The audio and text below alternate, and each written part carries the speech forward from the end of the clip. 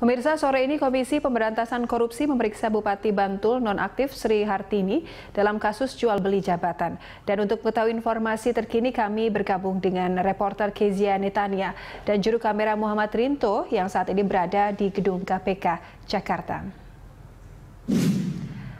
Kezia, silakan dengan laporan Anda terkait dengan perkembangan pemeriksaan Bupati Klaten nonaktif Sri Hartini eh, dalam kasus jual beli jabatan di lingkungan Pemkap Klaten. Ya Dora, saat ini Bupati Klaten Sri Hartini masih dalam pemeriksaan di gedung KPK. Dan tadi Sri Hartini sudah diperiksa sejak pukul 2, namun saat ini belum meninggalkan uh, gedung KPK. Dan Sri Hartini merupakan salah satu dari dua tersangka dalam kasus dugaan suap jual beli jabatan di pemerintahan Kabupaten Klaten.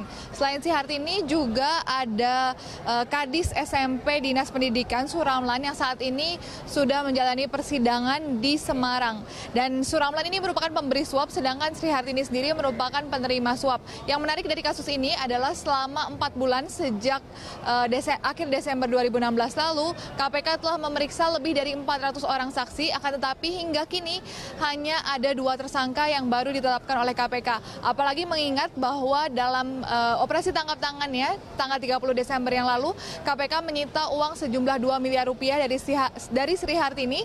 Selain itu juga dalam kesempatan berikutnya, dalam penggeledahan di rumah Sri Hartini, KPK juga menyita uang senilai 3,2 miliar rupiah. Ini merupakan jumlah yang cukup besar untuk hanya ada dua orang tersangka sehingga tentu saja KPK masih terus mengusut kasus kasus ini untuk ditetapkannya tersangka-tersangka lain yang tentu kita akan tunggu bersama-sama Dora.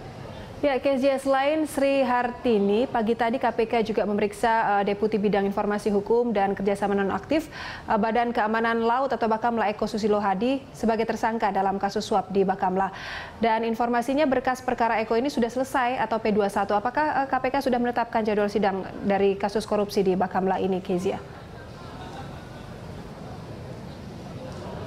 Ya benar Saudara kedatangan Eko Susilo Hadi tadi pagi merupakan kedatangannya terakhir ke KPK karena saat uh, kedatangannya tadi pagi uh, Eko Susilo Hadi menandatangani berkas perkara yang sudah P21 ini artinya berkas dari Eko Susilo Hadi akan segera dilimpahkan dari penyidik kepada jaksa penuntut umum yang artinya juga nanti dalam waktu dekat Eko Susilo Hadi sebagai tersangka akan menjalani persidangan di Pengadilan Tipikor Jakarta Pusat. Eko Susilo Hadi diduga menerima uang senilai lebih kurang senilai senilai 2 miliar rupiah dalam uh, kurs US dollar dan Singapura dollar uang senilai 2 miliar rupiah senilai 2 miliar rupiah ini merupakan komitmen fee senilai 7,5 persen dari nilai proyek pengadaan satelit monitoring senilai 402 miliar rupiah dari kasus suap Bakamla. Selain dari Eko Susilo Hadi, KPK juga telah menetapkan tiga tersangka lain yang ditetapkan dalam operasi tangkap tangan bersama-sama yaitu selaku uh, pemberi suap yaitu Direktur dari PT Melati Teknovo Indonesia Fahmi Darmawansyah beserta dua orang stafnya Hardi Stefanus dan Muhammad Adami Okta. Akan tetapi ketiga tersangka tersebut sudah sejak dahulu uh, menjalani persidangan dan saat ini menyusul Eko Susilo Hadi. Dan pada kemarin Rabu kemarin KPK juga menetapkan satu orang tersangka baru dari pihak Bakamla yaitu Kabiro Perencanaan dan Organisasi Bakamla Novel Hasan. Novel Hasan ini merupakan uh, pejabat pembuat komitmen di Bakamla terkait dengan kasus pengadaan satelit monitoring ini dan diduga bersama-sama dengan Eko Susilo Hadi menerima hadiah dari Dirut PT MTI. Dora. Terima kasih atas laporan Anda, Kezia Netania dan juru kamera Muhammad Rinto, langsung dari Gedung KPK Jakarta.